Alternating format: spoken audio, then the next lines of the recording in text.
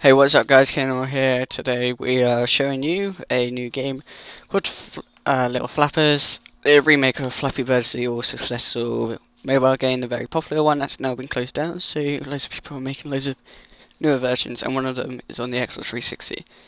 This game is absolutely beast, the only button you need is A to jump, quite simply, like touching the screen on your phone or tablet. So I'm going to be showing you this little gameplay and then stay to the end of the video and I'll show you where to download it and how to download it.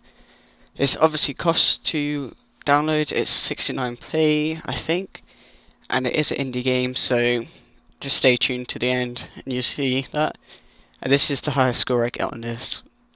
This is the highest score I've got so far on this game. So I'm not going to ruin it, just stay at the end of the video and I'll explain how to download it. Alright, thanks.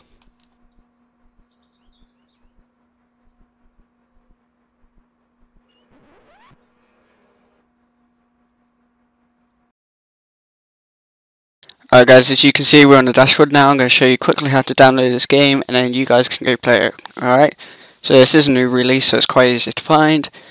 Alright, so basically you go across to games, I simply go browse games, uh, when it loads, eventually like what is this, um, then you go over to indie, go new releases, and it's the second one, Little Flappers.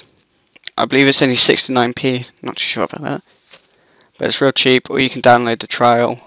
So you just download it here. It pop-ups in download it, it takes like less than a minute to download. And then you go play it basically. Now I hope you guys enjoyed this video. If you did please give it a like subscribe share it around so loads of people find out about this. And once again guys thanks for watching. I'll see you in my next